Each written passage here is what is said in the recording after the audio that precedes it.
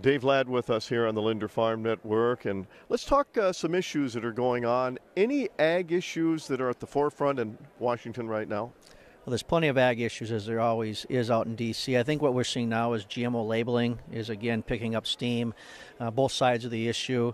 Uh, I think you're going to see a full court press here in the next three to six weeks as both sides try to get something moved out of the Senate, a compromise bill that can be coupled or married with the House uh, bill that passed last last year.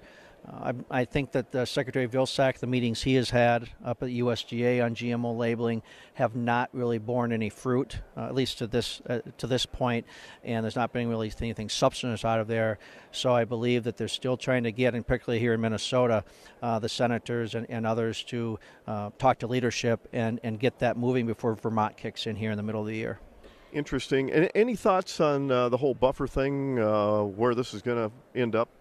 Well, I think that's still kind of being determined. I think when you look at the broader issue of water quality, uh, water quantity, I think that's going to be seen both with the buffer initiative here in Minnesota, and you've seen it with the waters of the U.S., which of course is an ongoing, an ongoing issue. What about water quality? Uh, and those sorts of, of dynamics between the environmental or conservation community and agriculture and industry and manufacturers and all the things that they are doing well.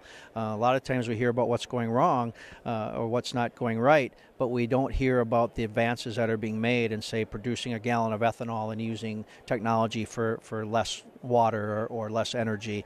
Uh, so I think uh, the buffer here in Minnesota is still, we're still waiting for those maps. Uh, to come out, and then there'll be an opportunity to react to that. Uh, but I think that's obviously going to be something that's going to be front and center here uh, over the next uh, next few months. Dave Ladd with us. We're here at the Minnesota Ag Expo.